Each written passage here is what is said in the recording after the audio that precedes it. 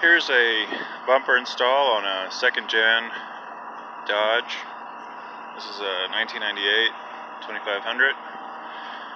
This is a Bison Tough front bumper made by Steelcraft, branded as uh, Bison Tough. Just want to do a quick video here and show you the enhancements here of this style. So once you take off your front bumper, you'll see a little lip here. And the old style bumpers only just have this one piece that is a part of the bumper here. So the enhanced style has this additional bracket here that catches that crosspiece.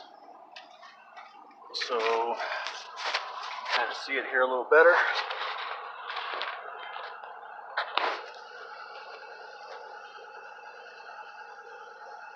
And if you also notice, whether you do this brand or another brand, what you want to do on these second gens is put yourself a big fat washer. So there's three bolts here. Got one right underneath there too. Notice the thickness of that washer. So there's three, and then one for that cross piece. Same thing there on that side. So that's pretty pretty much it.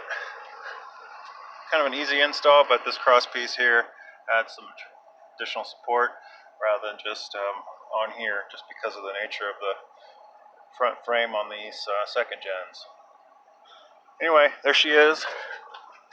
Kind of cheating a little bit here with a forklift, but it makes it much easier to do the install than it's just three bolts there and the three bolts there. Um, and then as another little tip here, if you put them in hand, hand tight, allows you to line them up and then you can just tighten them up. Anyway, there she is.